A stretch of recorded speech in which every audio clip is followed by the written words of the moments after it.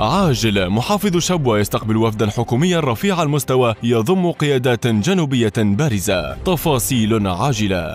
للمزيد من الأخبار لا تنسوا الإعجاب بالفيديو والاشتراك بالقناة. قناة نبأ الإخبارية أخبار اليمن لحظة بلحظة.